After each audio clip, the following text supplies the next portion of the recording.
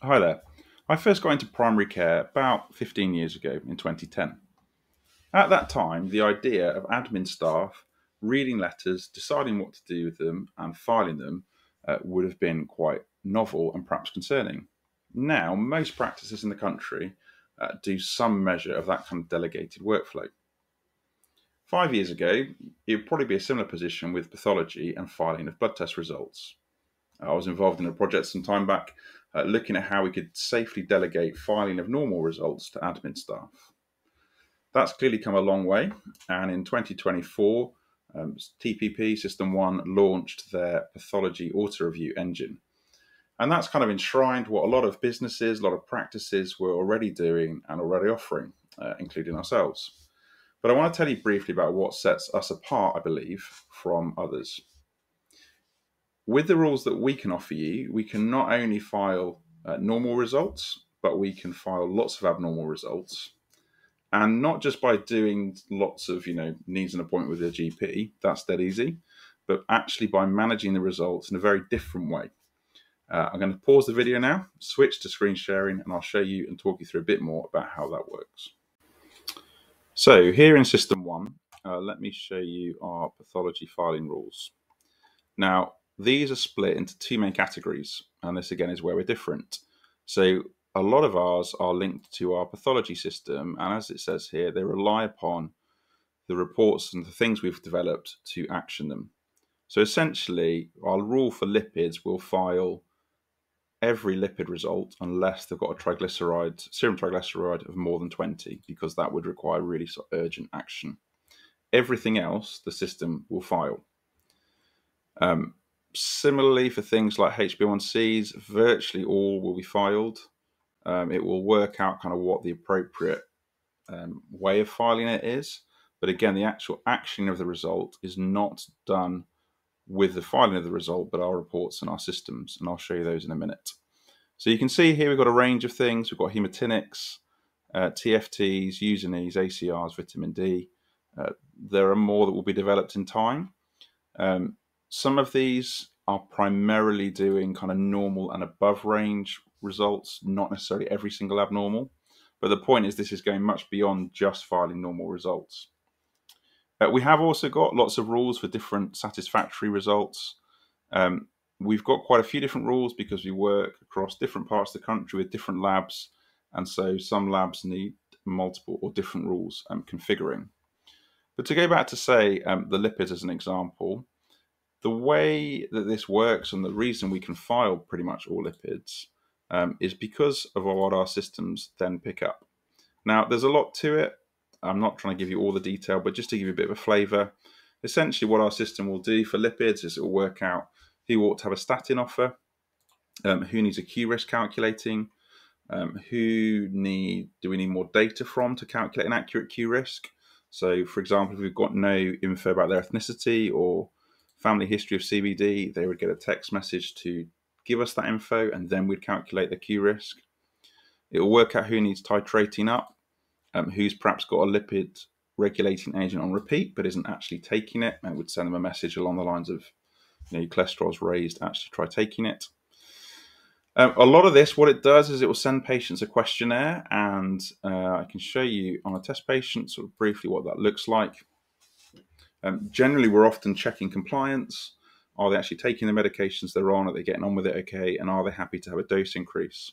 What we find is sort of 50, 60% of patients will often say yes to both those questions. Uh, so let me do statin dose increase.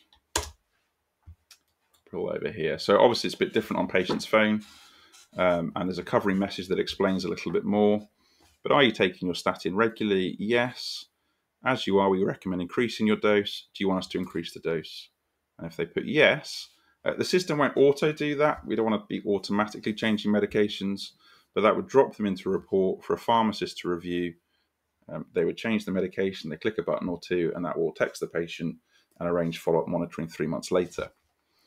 Um, if they say no, they don't want to um, increase the dose, then that's fine. That's up to them. It codes that and it does give them some more information about why it's important.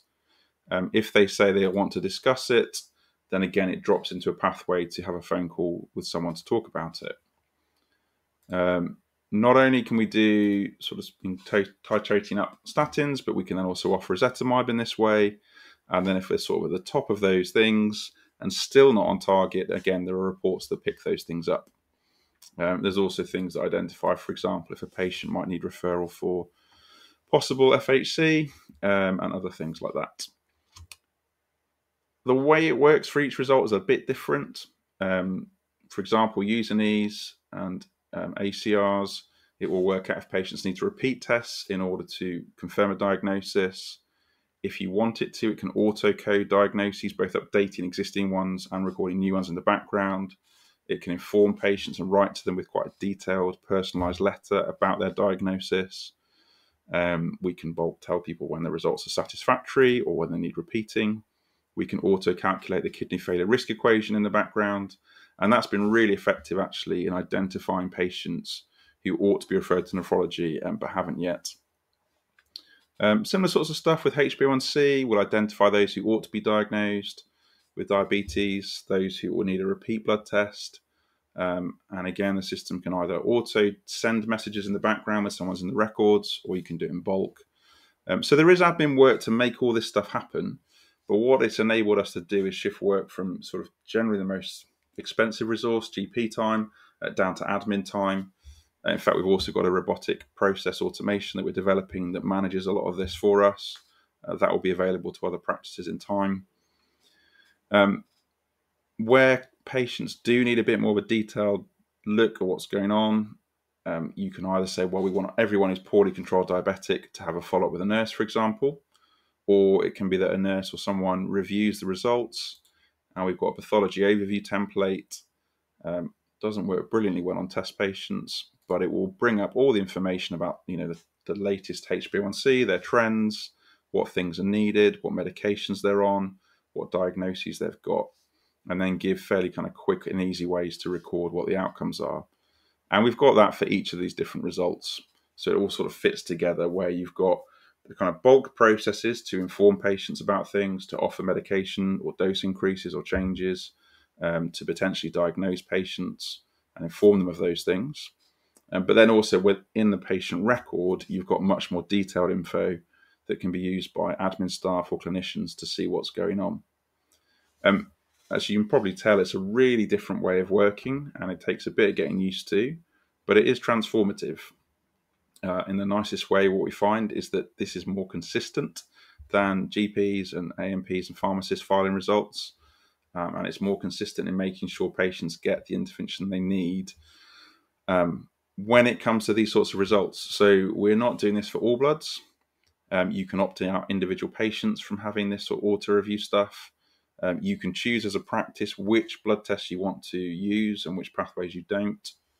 Uh, most practices with us start with one or two, get used to those, and then add on more as they go along.